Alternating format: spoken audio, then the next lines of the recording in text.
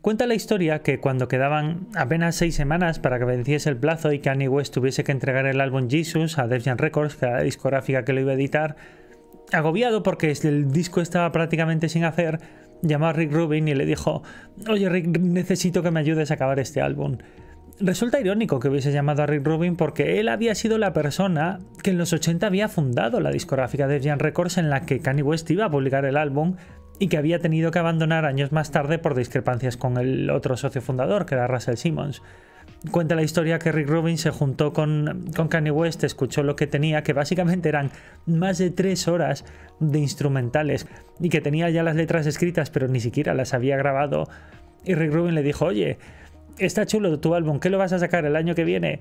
Y Kanye West le dice, no exactamente tengo seis semanas para entregarlo. Así que Rick Rubin lo miró y le dijo, no te preocupes Kanye, vas a salir de esta. Y así es como se juntaron durante 18, 20 horas diarias durante todas esas semanas, consiguieron grabar las vocales, producirlo todo, montarlo todo, y no lo entregaron en tiempo, pero lo entregaron con un retraso relativamente decente para lo que suele ser Kanye West.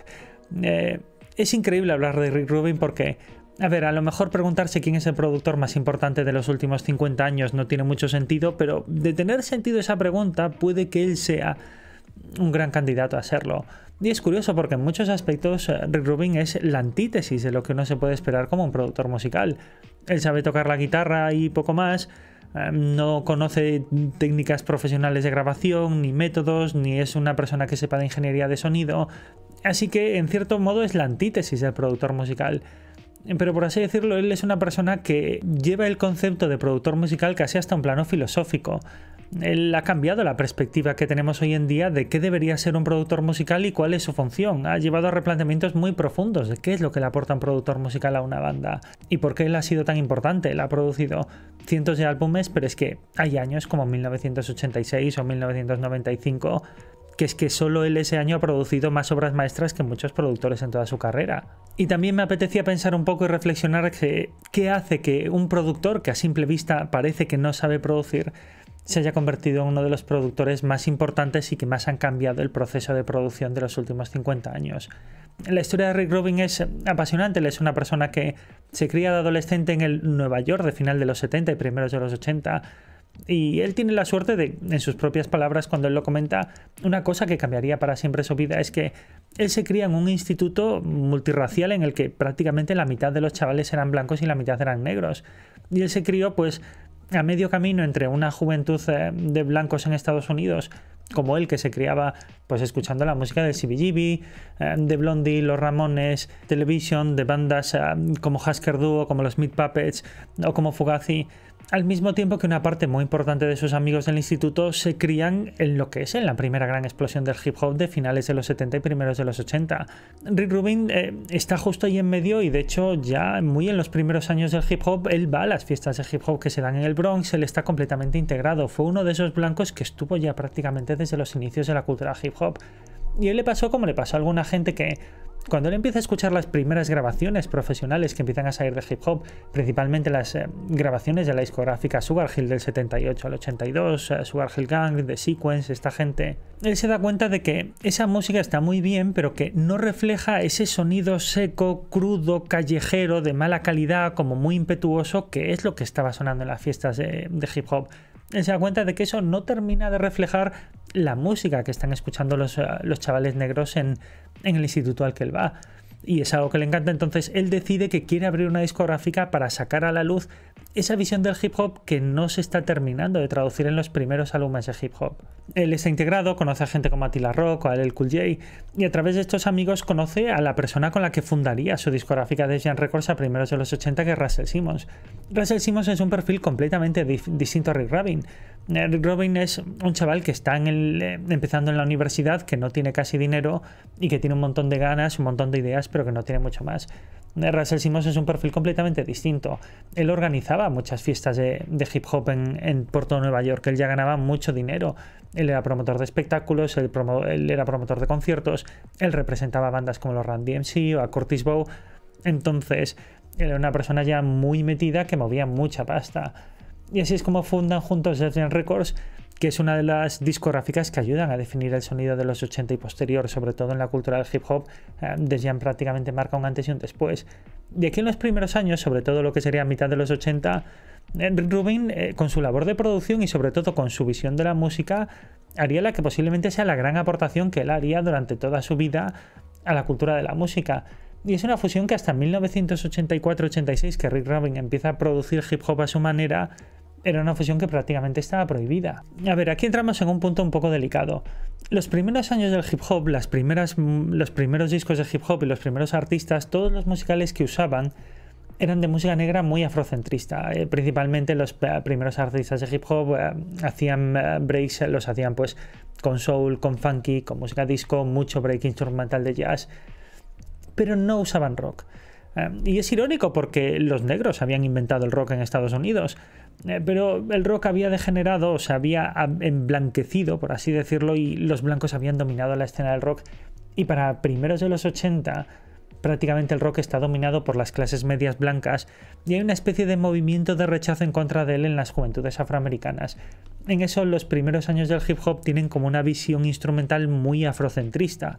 Eh, sobre todo si tenemos en cuenta que en 1982 sale eh, The Sequence, el disco de Grandmaster Flash and the Furious Five, que ya entra en una visión muy comprometida y muy social de la cultura afroamericana. Y mezclar ese hip hop con el rock de los blancos eh, que se estaba dando en esos años es una especie de muro infranqueable que nadie quiere cruzar, nadie se atreve a, cruzar. Y claro, Rick Rubin no forma parte de esa realidad sociocultural de esos años del hip hop, de esas primeras culturas de hip hop, entonces no siente ese muro infranqueable que sí que tenían esos primeros artistas de hip hop. Y así es como a primeros de los 80 una de las bandas que conoce son unos chavales judíos de clase media blancos que estaban haciendo punk en un momento en el que ya, ah, bueno, ese punk garajero del CBGB estaba empezando a pasar de moda, que eran irónicamente los Beastie Boys.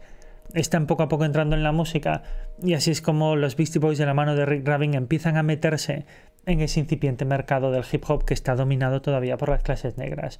Ah, y este es un punto complicado porque, claro, los Beastie Boys ah, estaban haciendo punk. A Rick Rabin le gustaba también el, rock. Al final él había tenido una banda de punk garajero, le gustaba Husker Du, le gustaba Fugazi, entonces ah, para él la mezcla que se veía prohibida para él era prácticamente inevitable. En 1984 publican el primer single de los Beastie Boys que es la mezcla que prácticamente estaba prohibida. En él tenemos a los Beastie Boys rapeando sobre una base de los CCDC de Back in Black.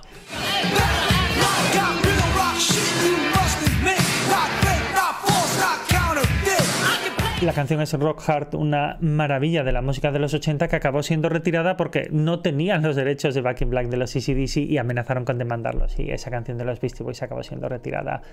Dos años más tarde es cuando los Beastie Boys sacan, producido por Rick Rubin, su primer álbum, que es una de las grandes obras maestras, uno de los álbumes más importantes de los últimos 50 años de música, que se llama License to Ill. Hay una crítica maravillosa de ese álbum de una revista que ya es parte de la historia de la música, que resumía License to Ill de los Beastie Boys como tres idiotas crean una obra maestra. Y es irónico porque en la biografía de los Beastie Boys, en la autobiografía que sacaron hace poco, que es un libro maravilloso, dicen algo parecido. O sea, básicamente dicen, cuando hicimos eh, License to Ill no teníamos idea de lo que estábamos haciendo. Y es un poco esa visión de tres eh, jóvenes que quieren hacer hip hop, que no lo terminan tampoco de entender muy bien, que tienen muchas ganas de romper moldes y hacer algo nuevo. Y así es como casi de rebote acaban creando una obra maestra que se convierte en uno de los álbumes de hip hop más vendidos de la historia y el primer álbum de hip hop en llegar al número uno en la lista Billboard con ese grandísimo tema Fight for Your Right.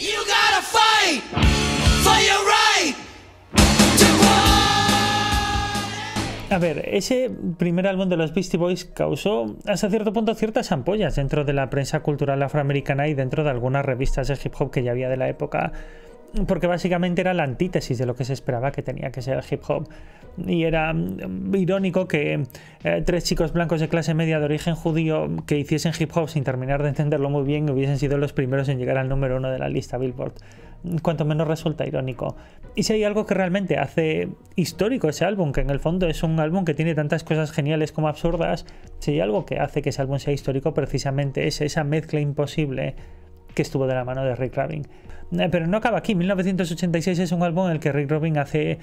otros álbumes que pasarían a la historia, como el Reign of Blood de, Slayer, que es otra de las grandes obras maestras, posiblemente uno de los álbumes mejores eh, de toda la discografía de Slayer, que acabaría siendo también muy importante dentro de la escena del hip hop años más tarde por otra cosa que ya vendrá más adelante. Y también en lo que es eh, Rising Hell de los Ram DMC, que también lo produce en 1986. Los Ram DMC ya habían tenido discos anteriores en los que en la producción había trabajado Russell Simmons. Ah, pero Rising Hell marca un punto de inflexión importante gracias a Rick Rubin porque él introduce los, eh, todos esos breaks de rock y sobre todo esa colaboración con Aerosmith que los lleva lejísimos con el Walk This Way. O sea, Rick Rubin tiene muy clara la dirección en la que quiere llevar al hip hop y es mezclar la música de blancos con la música de negros que se está escuchando en los institutos. Irónicamente, 1986 es uno de esos años históricos para la música y una de las grandes razones son los tres álbumes que produciría Rick Rubin. Pero eso no es más que el principio, o sea, esto es el principio de, de una carrera increíble en el que Rick Rubin descubriría y lanzaría bandas tan importantes como los Public Enemy. De hecho, unos años más tarde, otra de las grandes obras maestras del hip hop, también producida por Rick Rubin, 1988 sobre todo, el álbum It Takes a Nation of Millions to Hold Us Back, um, un álbum, eh, uno de los mejores álbumes, posiblemente el gran álbum de Public Enemy, que tiene una canción que se llama She Was Channel Zero, en la que, gracias a Rick Rubin, estás ampliando no solo una guitarra fantástica, sino que irónicamente esa guitarra está ampliada del álbum Reign of Blood de Slayer que había producido el propio Rick Rubin unos años atrás.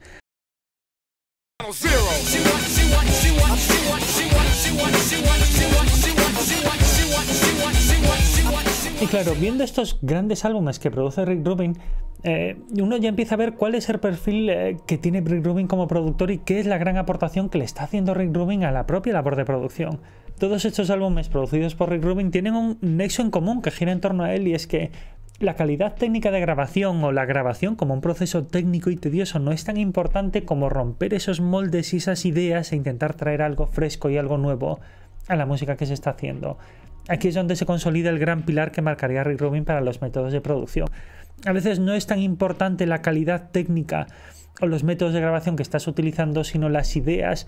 y la ruptura de moldes y el ir más allá y lo que tú le estás aportando al mercado musical nuevo que antes no se estaba haciendo ese posiblemente sea la gran aportación de los métodos de producción que tendría Rick Rubin, que luego acabaría siendo un productor muy controvertido. O sea, aunque él produjo esos álbumes tan importantes, Rick Rubin fue un productor que tardó muchos años en ser reconocido por la industria, en tener premios, en ser aclamado, y fue una persona que siempre tuvo cierto recelo por parte del sector profesional porque era como, este tío no tiene ni idea de lo que está haciendo, está sacando ah, álbumes que desde el punto de vista técnico de la producción musical son auténticas aberraciones técnicas y sin embargo él está dando pasos de gigante en la fusión musical de los años 80. Para finales de los 80, Rick Rubin empieza a tener ciertas discrepancias con su socio, con Russell Simmons, y acaba teniendo que abandonar la discográfica no solo que él funda, sino que él convirtió en lo que terminó siendo. Él se acaba yendo, acaba fundando una nueva discográfica, Def American, que se acaba convirtiendo más adelante en American Recordings, y todas esas ideas que había desarrollado conceptualmente de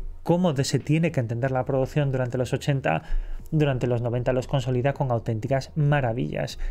Cuenta la historia que en 1989 eh, Rubin ve en un concierto en California una banda que ya estaba trabajando y que tenía muchísimo potencial, que mezclaba ese hip hop y ese rap con bases muchísimo más funky y no tanto rockeras. A él le parece que tienen muchísimo potencial y los convence para empezar a producir algunos de sus álbumes. Y así es como Rick Rubin convence a esta banda que son los Red Chili Peppers para producir el álbum que haría despegar oficialmente a los Red Hot Chili Peppers como una banda internacional, que es Blood Sugar Sex Magic. Y ahí empezaría una relación en la que Rick Rubin produjo los álbumes más importantes de toda la carrera de Red Hot Chili Peppers.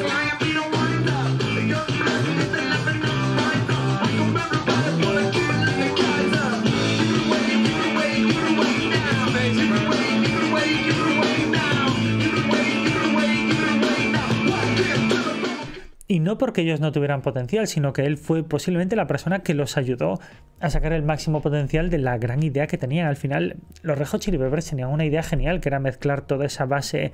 eh, rockera, guitarrera con el funky y con esas bases medio cantadas, medio rapeadas que estaba haciendo el cantante. O sea, eh, pero bueno, el trabajo de Rick Rubin de esta época es que es grandioso por muchísimos aspectos. Al final lo que hizo con los Red Hot Chili Peppers no es más que una pequeña punta. Eh, Rick Rubin eh, siguió produciendo álbumes importantísimos en la carrera de gente como Slayer, The Cult, Tom Petty, incluso acabó produciendo algún álbum de ACDC, los que lo habían demandado a primeros de los 80 por haber usado un sample de Back in Black, acabaron produciendo con Rick Rubin, las ironías que tiene la vida. Y otro punto maravilloso de la visión que tuvo este hombre es que él fue la persona que resucitó la carrera de Johnny Cash. Esto, o sea, es increíble cuando escuchas a hablar a Rick Rubin en las entrevistas de cómo resucitó, resucitó a Johnny Cash, es alucinante. Johnny Cash durante los 80 pasó una temporada muy baja en la que ya no tenía éxito, ni siquiera tenía éxito en música country, llegó a un punto en que empezaba ya casi a no dar conciertos, lo echaron de la discográfica, fichó por una segunda discográfica de poca monta, lo acabaron echando de la segunda discográfica. Y Rick Rubin cuando de repente ve que Johnny Cash eh, ya está siendo olvidado, que le parece como uno de los personajes más importantes de, la música de Estados Unidos, lo convence y le dice, eh, Johnny te voy a producir un álbum y vas a volver al éxito. Y claro, Johnny Cash se queda como, y este tío que está produciendo a los Public Enemy y que está produciendo a Randy sí de repente dice que va a producir un álbum de música country y lo consiguió. No solo ah, produjo un álbum de Johnny Cash, sino que resucitó toda su carrera, lo ayudó, acabó haciendo algunas de las mejores grabaciones que hizo Johnny Cash en toda su carrera, que fue ya muy avanzada su carrera, cuando versionó a Nine Inch Nails, cuando versionó a Depeche Mode. Detrás de esto no está más que esa visión y ese empuje eh, y ese apoyo que le dio Rick Rubin a Johnny Cash cuando él pensaba que su carrera estaba prácticamente acabada. Your own personal Jesus. Pero es que uno sigue repasando las cosas que hizo este hombre también durante esta, durante esta época y es que hizo tantas cosas increíbles que parece imposible que un hombre haya podido hacer todo eso. Eh, hizo el primer, produjo el primer álbum homónimo de los Black Crowes, que es, ese álbum es fantástico, a mí me parece una obra maestra. Y estamos entrando a mitad de los 90 y esa fusión del rock con el hip hop está entrando en una nueva fase que es el nu metal y ahí está Rick Rubin para ser otro de los grandes protagonistas. Rubin no solo fue el protagonista de la primera gran fusión del rap eh, con el rock eh, que fue de mitad de los 80, sino que esa segunda gran oleada del nu metal de, de la segunda mitad de los 90 Rick Rubin también volvió a ser uno de los grandes protagonistas sin que hubiese sido muy difícil entender el movimiento nu metal sin Rick Rubin porque produjo a System of a Down, eh, produjo partes de Slipknot, aunque bueno, Slipknot no acabaron muy contentos de haber producido con Rick Rubin, es irónico. Ah, produjo algunas partes de Rage Against the Machine y ya entrando a primeros de los 2000 eh, produjo a Slave, a Limp Bizkit, incluso algunas de las mejores eh, partes de Linkin Park también están producidas por él. Incluso una obra maestra producida por Rick Rubin que a veces nos olvidamos y que me parece una joya increíble en la que hizo un trabajo fantástico. The Lost in the Comatorium de, de Mars Volta. O sea, ese álbum es una maravilla, una obra maestra también de la producción. Es un álbum rompedor en conceptos y que al final tiene esa visión de, Rick Rubin que nos vamos a sentar a romper los moldes de lo que se entiende por la música. Incluso ya en esta época, también entrados los 2000, cuando Jay-Z quiere resucitar su carrera, al final a quien acaba llamando también es a Rick Rubin. Porque aunque en esta época él destaca por todas sus eh, producciones del nu metal y de bandas tan importantes, pues eso, pues eh, gente como Audioslave, al final eh, trabaja con Kanye West, trabaja con Eminem, con Jay-Z, es que él prácticamente ha trabajado con los mejores artistas de los últimos 50 años. Y aquí estamos en el 2022 en el que Rick Rubin a día de hoy ha producido cientos de álbumes, posiblemente haya producido más de 30 40 de los que son álbumes considerados históricos de los últimos 50 años y ahí continúa produciendo 5, 6, 8 álbumes al año. Y claro, uno se pregunta, ¿qué hace que este hombre sea tan especial? ¿Cómo una persona puede llegar a hacer tanto? ¿Y cómo una persona ah, puede convertirse en un productor tan distinto de todo lo demás? Y es que si hay algo que define a Rick Rubin es que los álbumes, muchos de los álbumes que ha ido produciendo se han ido caracterizando por dos cosas importantes. Una es porque han roto muchos moldes de lo que se entendía por música o barreras que nadie se había atrevido a cruzar o han supuesto puntos de inflexión muy importantes en carreras de algunos artistas, eh, como Slayer con Reign of Blood o Johnny Cash cuando resucita toda su carrera, los Rejo Chili Peppers con Blood Sugar Sex Magic. Él ha sido una persona que ha ayudado a muchísimas bandas a marcar un punto de inflexión en sus carreras. ¿En qué consiste el estilo de Rick Rubin que lo hace tan especial? Él es, yo creo que prácticamente una especie de gurú o un filósofo, una persona que se centra más en sentarse a tomarse cervezas con los artistas y hablar y qué les interesa, qué están escuchando nuevo, escuchar cosas que están saliendo, qué inquietudes tienen, cómo podría quedar mejor. Es una persona que está enfocada mucho más en una visión filosófica del productor y de empujar a las bandas a no tener miedo a hacer cosas nuevas, a romper sus moldes, a intentar incorporar cosas que les gustan, que parece que no encajan con lo que están haciendo, mucho más que que en esa labor técnica que siempre había tenido el productor. Y esto le ha generado puntos muy controvertidos. Hay una parte importante de la, de la industria musical que siempre ha tenido como una opinión muy negativa de Rick Rubin como una persona que ha hecho auténticas aberraciones técnicas desde el punto de vista de producción. Él es una ah, persona que siempre se ha considerado uno de los grandes culpables de cosas como la guerra del, volumen, eh, como los discos cada vez están más saturados, con más eh, errores técnicos, con más saturación, eh, como la música se está convirtiendo como una especie de muro sólido de sonido, todo emborroñado que no se intenta, que no se consigue definir bien. Y claro, eso a muchos productores y a muchos músicos clásicos pues no les termina de gustar, pero bueno, al final el tiempo le ha acabado dando la razón a él. Él es una persona muy libre que tampoco le ha interesado nunca demasiado la opinión que tiene el resto de la industria sobre él. Y eso es una persona que ha tardado muchísimos años en tener premios y que para todo lo que ha hecho es una persona relativamente poco premiada.